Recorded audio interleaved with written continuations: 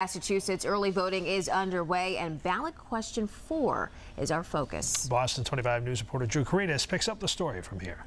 Former Hollywood actress Eliza Dushku says she's found her real calling after moving back home here to Massachusetts. She's now certified in psychedelic assisted therapy and will be talking about how it's changed her life at a rally here outside the State House in a final push to pass ballot question four.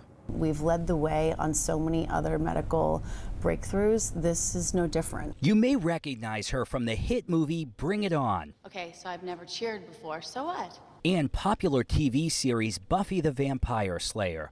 But Watertown native Eliza Dushku is working to make a different impression in her determination to legalize and regulate the use of some psychedelic drugs in Massachusetts. It changed my life working with psychedelic assisted therapy. I think I spent arguably most of my life numbing and taking drugs and alcohol. Dushku calls psychedelic assisted therapy a breakthrough effective treatment that helped pull her out of a dark abyss of substance substance use disorder and childhood trauma. So many of our other treatments, I think, treat symptoms. You know, they treat symptoms of PTSD or treatment resistant depression or anxiety. And psychedelics really have an ability to kind of drop you into the root cause of what your trauma is. Dushku and her husband, Peter Palandjian, a former professional tennis player, are advocating for a yes vote on ballot question four, appealing to veterans and people struggling with mental health conditions. I honor the fear as a parent of six children but I don't honor the fear mongering. Palandjian responding to criticism from opponents who are sharing concerns about a black market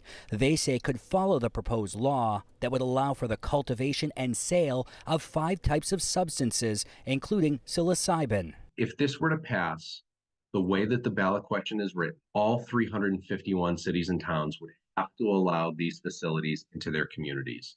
Chris Cohen with the Coalition for Safe Communities says opponents are worried about the amount of home growth that would be allowed and have questions about cost and access of substances found in mushrooms if legalized. I feel for the people that genuinely need help, genuinely need help.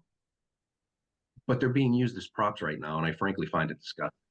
If question four passes, Massachusetts would be the third state in the country to legalize certain psychedelics following Oregon and Colorado. Outside the State House, Drew Karedes for your local station, Boston 25 News.